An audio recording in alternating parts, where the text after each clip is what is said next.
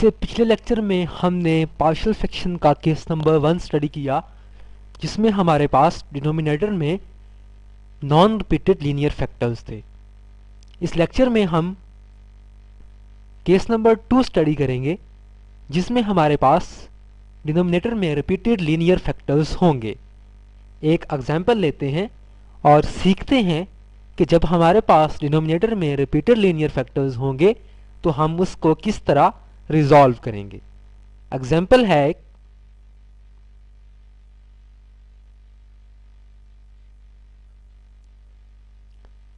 resolve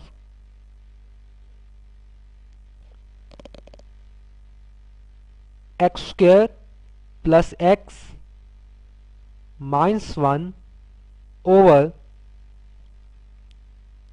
x plus two whole cube into partial fractions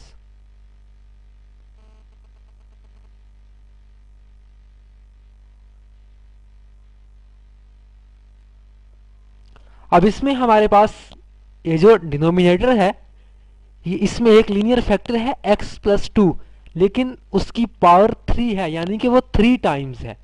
तो जब हमारे पास डिनोमिनेटर में रिपीटेड लीनियर फैक्टर्स होंगे तो उनको सॉल्व करने का जो मेथड है, वो नॉन रिपीटेड से थोड़ा सा डिफरेंट है। तो सबसे पहले तो हम उसी तरीके से सपोज़ करेंगे इसके पार्शियल फ्रैक्शंस के x square plus x minus one over x plus two whole sorry cube is equal to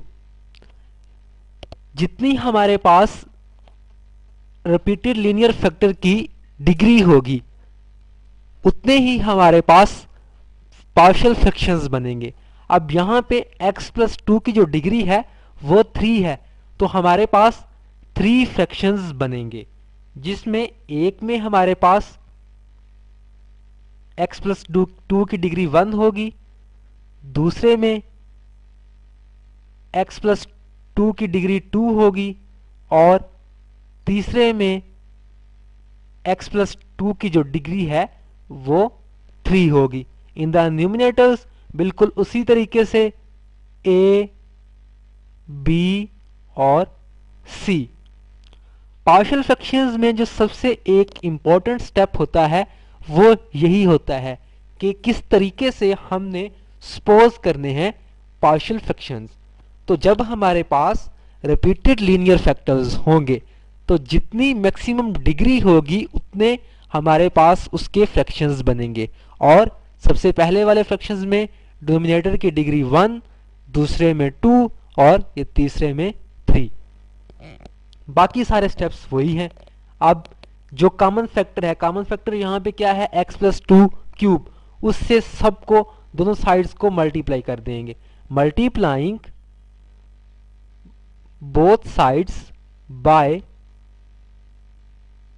x plus two cube जब मल्टीप्लाई करेंगे तो ये हमारे पास बन जाएगा x square plus x minus one is equal to यहाँ पे जब मल्टीप्लाई होगा x प्लस टू क्यूब तो x प्लस टू की एक पावर खत्म हो जाएगी और पीछे बच जाएगा a into x plus two square plus जब यहाँ पे मल्टीप्लाई होगा तो टू पावर्स खत्म हो जाएँगी तो बच जाएगा b into x plus two और यहाँ पे ये होल कैंसिल हो जाएगा तो ये हमारे पास आ जाएगा c.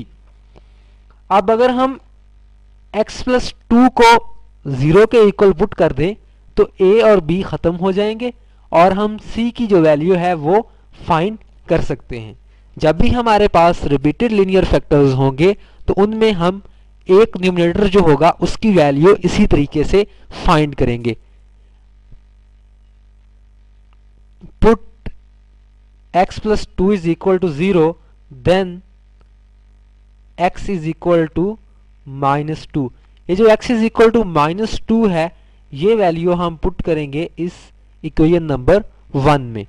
तो जहाँ जहाँ पे x है, वहाँ वहाँ पे हम माइनस टू पुट कर देंगे। तो ये हमारे पास हो जाएगा minus two square plus minus two minus one is equal to ये ए के साथ जब पुट होगा तो ये भी ज़ीरो हो जाएगा बी भी ज़ीरो हो जाएगा और सिंपली सी बच जाएगा। So c is equal to one इसको सॉल्व करेंगे। तो इसका आंसर वन आएगा। आप खुद सिंपली ये स्क्वेयर लेके इसमें से कर लेंगे। Four minus three definitely will be one. तो c की वैल्यू हमारे पास जो है, वो आ गई। उसके बाद उसके बाद चलो स्टेप ये होगा कि इसको, स्क्वेयर को हम ओपन कर लेंगे। ये हमारे पास इक्वेशन बन जाएगी। X square plus x minus one is equal to a into x square plus two x sorry four x plus four plus b into x plus two plus c अब हम coefficients को compare करेंगे जो हमारे पास like terms के होंगे। यहाँ पे एक्स स्क्र का कोफिशंट जो है वो वन है तो इस साइड पे एक्स स्क्र का जो कोफिशेंट है वो ए है। So one is equal to a. यहाँ से हमारे पास ए की जो वैल्यू है, वो भी आ गई। उसके बाद हम कंपेयर करेंगे एक्स के कोफिशियंट को। यहाँ पे एक्स का कोफिशियंट है वन तो इस साइड पे एक्स के साथ एक तो ये होगा four a plus b.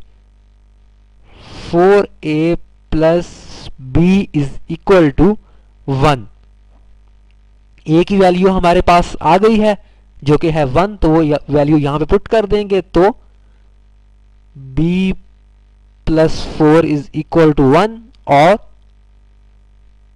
b is equal to minus three ये जो a, b और c की वैल्यूज़ हैं, ये हम यहाँ पे पुट कर देंगे, जहाँ पे हमने पार्शियल फ्रिक्शंस को सपोज़ किया था। तो हमारे पास आंसर आ जाएगा कि x square plus x minus one over x plus two cube is equal to A की जगह पे one over x plus two plus B की जगह पे माइनस थ्री तो यहाँ पे माइनस ले देते हैं। Minus three over x plus two square plus C की जगह पे भी one one over x plus two cube तो ये हमारे पास पार्शियल फ्रिक्शंस आ गए हैं। हमने इस लेक्चर में देखा कि जब हमारे पास डिनोमिनेटर में रिपीटेड लीनियर फैक्टर्स होंगे तो उसको हम किस तरीके से पार्शियल फ्रिक्शंस में रिजॉल्व करेंगे? जब हमारे पास रिपीटेड लीनियर फैक्टर्स होंगे तो वो जितने टाइम्स रिपीट हो रहा होगा, उतने टाइम्स हम उसके जो पार्शल फ्रैक्शंस हैं, उसमें उसको लिखेंगे। यहाँ पे ये थ्री टाइम्स रिपीट हो रहा है तो इसको हम तीन अलग अलग फ्रैक्शंस में लिखेंगे। पहले में उसकी डिग्री वन होगी, दूसरे में टू होगी, तीसरे में थ्री होगी। सिमिलरली अगर यहाँ पे इसकी डिग्री फोर भी होती तो यहाँ पे हम plus D over x plus two raise to power four लिखते। जितने टाइम्स रिपीट हो रहा होगा, उतने टाइम्स हम उसको पार्शियल फ्रैक्शंस में लिखेंगे, जिसमें हम पहले उसकी डिग्री वन लिखेंगे, बाद में टू बाद में three and similarly so on और उसके बाद वही जिस तरीके से हम पहले करते आए हैं कि जो कॉमन फैक्टर होगा, उससे दोनों साइड्स को मल्टीप्लाई करेंगे, ताकि हमारे पास एक ऐसी इक्वेशन आ सके जिसमें हमारे पास डिनोमिनेटर ना हो। तो यहाँ पे हमने x plus two whole cube से दोनों साइड्स को मल्टीप्लाई किया। जब मल्टीप्लाई किया तो ये हमारे पास आ गया x square plus x minus one is equal to A के साथ जब यहाँ पे मल्टीप्लाई किया तो ये हमारे पास बन बच गया A into x plus two square यहाँ पे बच गया B into x plus two और यहाँ पे सी उसके बाद एक वैल्यू तो हमें जब भी हमारे पास ये रिपीटेड लीनियर फैक्टर्स होंगे तो एक वैल्यू हमें मिल जाएगी। जब हम जो चीज़ें दूसरे जो होंगे, उनके साथ मल्टीप्लाई हो रही होंगी, उनको ज़ीरो के इक्वल पुट करेंगे। यहाँ पे x प्लस टू को जब हमने ज़ीरो के इक्वल पुट किया तो वहाँ से x की वैल्यू आ गई माइनस टू वो x की वैल्यू हमने इस इक्वेशन में पुट की तो वहाँ से हमारे पास ये c की वैल्यू आ गई। उसके बाद, जब दो पोलिनोमियल्स एक दूसरे के इक्वल होते हैं तो उनमें जो टर्म्स होती हैं, उनके कोफिशेंट्स भी आपस में इक्वल होते हैं। अब ये जो x square plus x minus one जो है, ये इक्वल है A into x square plus four x plus four plus B into x plus two plus C तो इसका मतलब है कि जो कोफिशेंट एक्स स्क्र का इस साइड पे है, वो इक्वल होगा इस साइड पे एक्स स्क्र के कोफिशेंट के। जब हमने कंपेयर किया एक्स स्क्र के लिए तो हमने देखा कि इस साइड पे जो एक्स स्केयर का कोफिशेंट है, वो वन है और इस साइड पे जो एक्स स्क्र का कोफिशेंट है, वो ए है। तो ए की वैल्यू हमारे पास वन आ गई। उसके बाद हमने एक्स के लिए कंपेयर किया। जब हमने एक्स के लिए कंपेयर किया तो इस साइड पे एक्स का कोफिशेंट वन था और इस साइड पे फोर ए प्लस बी था। अब हमने यहाँ से वैल्यू फाइंड करनी थी बी की। ए की वैल्यू हमारे पास आ गई है वन। वो वैल्यू हमने यहाँ पे पुट कर दी ए की जगह पे तो हमारे पास बी की वैल्यू भी आ गई। वो ए बी और सी की जो वैल्यूज़ हैं, वो हमने यहाँ पे पुट कर दी, जहाँ पे हमने फ्रैक्शंस को सपोज़ किया था।